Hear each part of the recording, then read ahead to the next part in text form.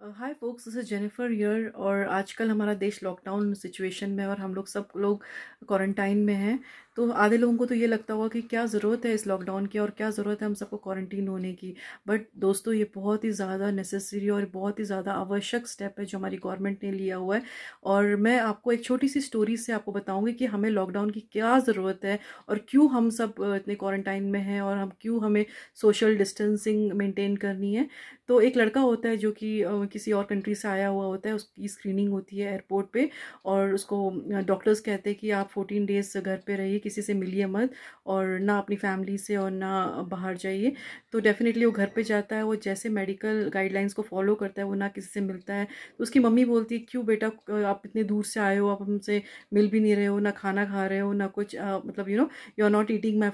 handmade food और something लेकिन लड़का गुस्सा होता है कहता है कि नहीं फोर्टीन फिफ्टीन डेज़ जो गवर्नमेंट ने उनको टाइम दिया हुआ है वो उसको फॉलो करेंगे और फिर देखेंगे क्या होता है। और आफ्टर थ्री फोर डेज़ उनको सिम्टम्स आते हैं, थोड़ा बुखार वगैरह तो वो मेडिकल हेल्प को फ़ोन करता है एंड उनको फ़ोन करके उनको बताता है कि उनको ये सिम्टम्स हैं तो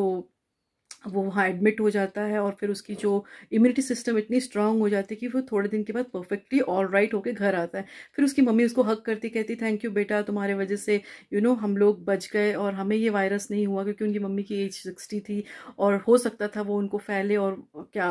शायद वो बचे ना बचे you never know you know so everybody was so happy कि he just followed the medical guideline इसके अपोजिट में एक जो शॉपकीपर होता है वो गोल्ड ज्वेलर होता है वो इटली से आया हुआ होता है या किसी और कंट्री से आया हुआ होता है और फिर उसके बाद उसको थोड़ा बुखार और खांसी होती है बट वो ज़्यादा उसको इग्नोर कर देता है, ज़्यादा यू नो ना वो मेडिकल हेल्प को फ़ोन करता है, ना किसी को बताता है और वो अपनी शॉप ओपन करता है और वहाँ जितने कस्टमर्स आते हैं थ्री हंड्रेड फोर हंड्रेड वो सबको इन्फेक्ट करता है प्लस अपने घर पर जाता अपनी वाइफ को, अपने बच्चे फैमिलीज़ रिलेटिव सबको इन्फेक्ट कर देता है, जबकि उसको बताया जा रहा है कि आपको ऐसे कोई सिम्टम्स है तो आप please you know medical helpline लीजिए, उनको कॉल कीजिए बट ही जस्ट इग्नोर्स जब उसकी तबीयत बहुत ज़्यादा ख़राब हो जाती है, तब उसको हॉस्पिटल लेके जाया जाता है तो उसको पता चलता है he is positive to corona virus और जब उसको पॉजिटिव होता है तो उसको काफ़ी देर हो चुकी होती है, उसको बचाया नहीं जा सकता, क्योंकि वो ऑलरेडी उनके लंग्स चोप अप हो चुके होते हैं और उनकी फैमिली को भी ये वायरस फैल चुका होता है। जितने कस्टमर्स उनके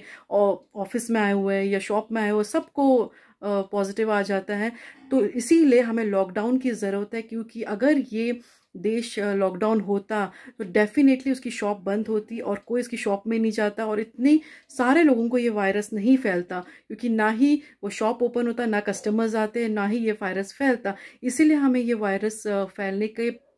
रोकने के लिए ये लॉकडाउन किया हुआ है, हर चीज़ बंद की हुई है ताकि जितने लोग हैं, सिर्फ़ उनको ही इन्फेक्शन हुआ हुआ है तो वो उसकी ट्रीटमेंट हो, एक लिमिटेड टाइम पे उतने ही लोगों को हम ठीक कर सके और वापस सोसाइटी में आने लायक कर सके और जिनको नहीं हुआ है, वो उस चीज़ से बचे रहे। तो आई होप दोस्तों आपको पता चल गया होगा what is the difference between lockdown देश का होना और ना होना, ये हमारी सुरक्षा के लिए तो प्लीज़ अब मेडिकल गाइडलाइन और गवर्नमेंट गाइडलाइन को फॉलो कीजिए और ये हमारी सुरक्षा के लिए, हमारी गवर्नमेंट ने ये सारे रूल्स बनाए हुए हैं तो प्लीज़ आप इनकी सेवा, आप इनकी मदद कीजिए। Thank you.